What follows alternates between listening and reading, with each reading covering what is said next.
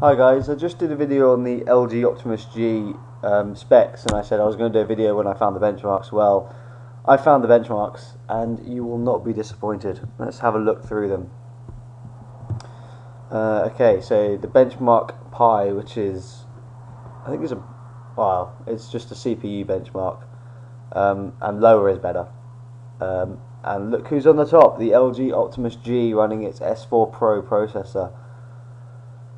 Yeah, it's the the S4 Pro is new architecture. Um, let me just have a quick look. S4 Pro. Oh, spelled that wrong. Yeah, like I said, it's Krait, which is very similar. It's not quite the A15 core like architecture, but it's very similar, and this is much better. It's smaller it's more power efficient and it enables you to higher the clock speed um, because it's smaller and creates less heat, so also less power consumption. Anyway, we can see here on this first benchmark, it's beating everything, including the Galaxy S3 here. I don't know if this is the international Galaxy S3 or the American one, uh, but either way, it's beating the Tegra 3 for sure with a nice score here. Linpack absolutely smashes everything silly. Um, wow, you know. I mean, this is this is just stock stuff, and that's got 608. The nearest competitor is the M4X Core with 189. This thing is ridiculous. Uh, I can't wait for this to be in more phones. Let's go to Quadrant. Again, a stock score of 7,439 smashes the Tegra 3 to bits, smashes the Galaxy S3 to bits. This was expected. I told you this processor was an absolute monster and it is living up to that expectation.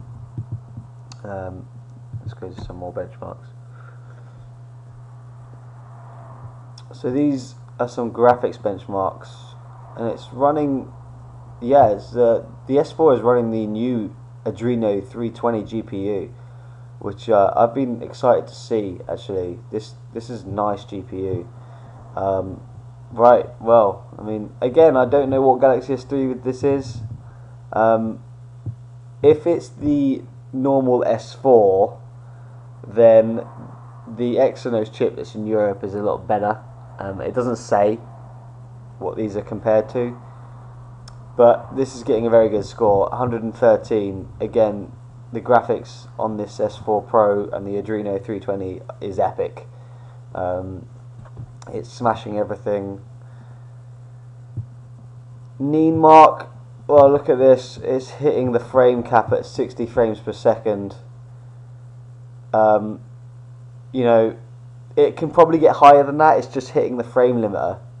So yeah, this thing is smashing everything that it's been thrown at. So yeah, it says here. So the fact that the LG Optimus G got a perfect score suggests that it has more in reserve than its rivals.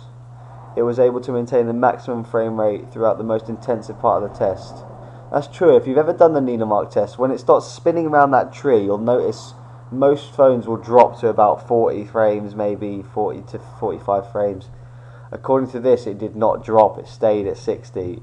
I can't wait to have a go with this phone. Now, the only slightly disappointment uh, is the Sun Spider. I mean, it doesn't get a bad score, but it's not top. Um, you know, the S3 and the MX4 core beats it. Saying that, the Sun Spider is just the browser, and you know, the Galaxy S3 has Samsung do great optimization on the browser. Um, it's all about optimization when it comes to Sunspider. LG might not be the best at it, I don't know. When this thing gets Jelly Bean, I bet it jumps to the top of this list. That's my because Sunspider, um, the Jelly Bean browser made a big difference to the Sunspider results. Anyway, they're the benchmarks that have been posted for this thing.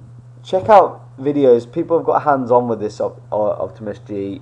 It looks fantastic. Um, I'm not sold on the whole design, but I really want to see this S4 Pro and other things. I hope you enjoyed my video. As always, if you like it, please subscribe. I hope to see you all later.